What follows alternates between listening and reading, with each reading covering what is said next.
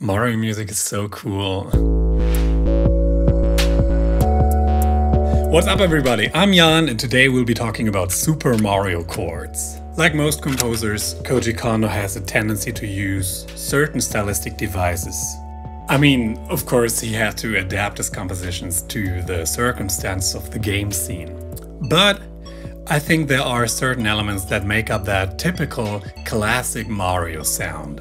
So today we're focusing on chords and harmonics that were used by Kondo in the late 80s and early 90s. Sorry Super Mario Galaxy soundtrack, we love you anyway. So what kinds of harmonic progressions and chords does a composer use when they want to write music that sounds like Mario music? So there's no time to explain all the different subtleties of Koji Kondo's writing style, but here are three different ways he harmonizes his music that sound very Mario like. Approaching diatonic chords with diminished chords. This kind of harmonic function is technically known as a secondary leading tone chord. More on that in this video. Secondary leading tone. Okay, so what does this technical jargon mean exactly? If a composer wants to make their upbeat music more lively and Mario-like, they can put a diminished chord in front of a major or minor chord. This means instead of using your regular old 1 4 5 1,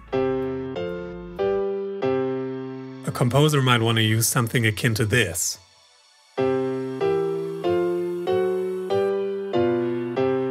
Creating a sort of mini cadence for each chord.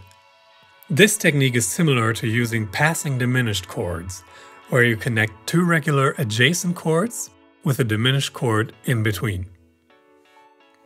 When you write music using this technique, it positively sounds like Super Mario music. The flat 6, flat 7, 1 cadence. This is when you take the 6 and 7 chords from a minor scale and use them in a major scale. Mario music is so famous for this specific cadence that it's even named after it nowadays. It's also known as the Billy Shears cadence since it's so prominently featured right at the beginning of the Beatles song with a little help from my friends. It's also in the Final Fantasy Victory theme, for example.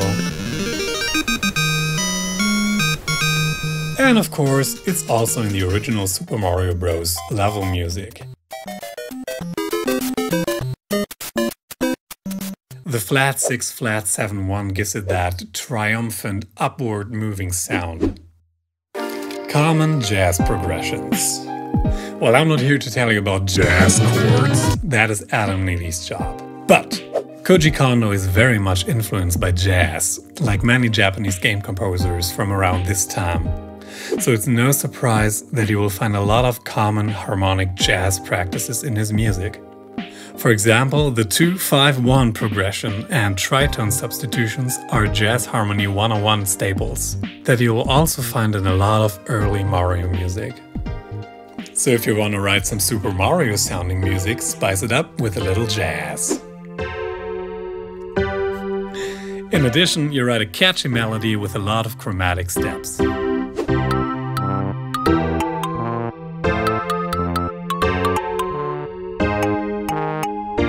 And a drum beat that just slaps.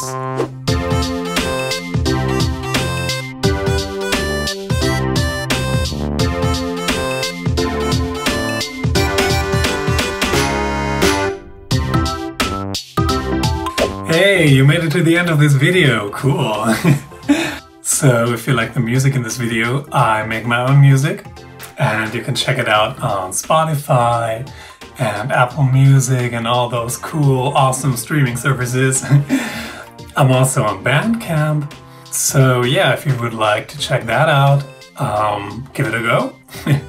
Anyways, um, thank you for watching and see you in the next video.